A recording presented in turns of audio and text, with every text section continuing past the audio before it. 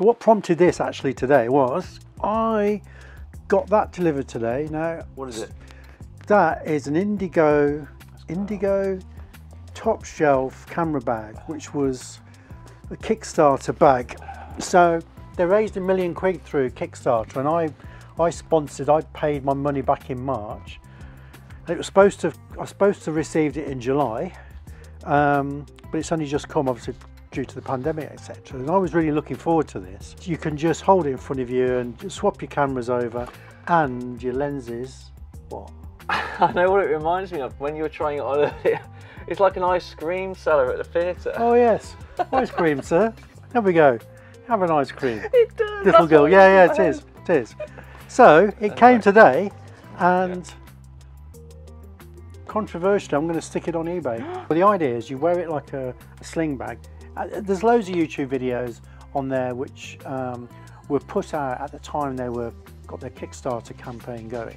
So it was before it was people that you know hadn't really got production units using them. They were just advertising the um, Kickstarter campaign, and you can wear it as a sling, whiz it round in 1.1 seconds or something. They say. Open this up, so then you can either swap cameras or swap lenses on a body without Yeah. having to take the bag off you, without having to put it down, which is fine. As you say, you end up looking a bit like an ice cream salesman in a theatre. It's like a kind of But you know, which and you know, I'm fine with that. The idea is great. I just could not get the cameras I wanted in there. What I wanted in there, I say, was 7200 on the body and another body with a lens on it. So I was just quickly swapping from one camera to another, mm. And it just doesn't fit. It's just not deep enough. I can see the So- idea of it. You don't want to put. Cause sometimes I don't want to put my bag on the ground. It's dirty and you know. Yeah. and you have to bend down and that. that. This is kind of like a quick release. You turn it around, it opens up like a Yeah. tray. You, Yeah, yeah, and yeah. You act like it's almost like a little table. That's why it's called the top shelf, I guess. Right, but okay. um, so the theory is good, uh, and you can put a laptop in the back of it and all that sort of stuff. But if can't get the gear in that I wanted, then the rest of it is irrelevant. Really. Yeah, that's true. So, Yeah. and this is a little bit fiddly that, but you yeah, know, I'm not sure of that so- mechanism. To be fair, it's a bit. So I think it's one of those things that's a great idea in theory, but I'm not convinced. Okay. And I bought this. I paid for this back in March. Mm. If I was doing it now, if I, if it came up now, I wouldn't do it because since then we bought we both bought one of these, yeah. uh, etc., Okay. which are great. So and fifty quid. I mean, this is two hundred and fifty dollars now to go and buy one.